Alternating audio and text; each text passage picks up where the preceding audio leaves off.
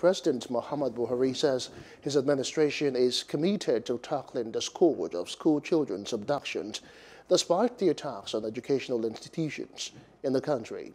He stated this while receiving the National Working Group of the Supporting Advancement of Gender Equity Initiative at the State House in Abuja.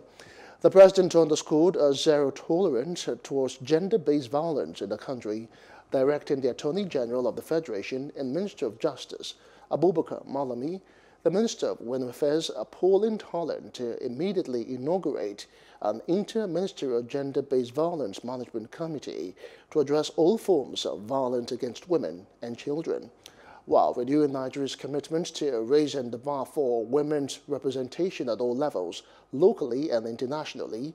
President Buhari equally voiced concerns over increasing out-of-school children in the country. Hello, hope you enjoyed the news. Please do subscribe to our YouTube channel and don't forget to hit the notification button so you get notified about fresh news updates.